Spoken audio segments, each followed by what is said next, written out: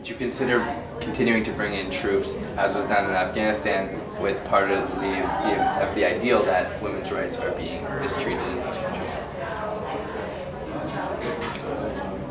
We aren't ready to state our position on that right now. We're going to see how the debate goes. We're generally not in favor of military action. We hope that that's not going to be the focus of discussion this weekend. For maternal health especially, we think that community-based and grassroots type strategies will work best.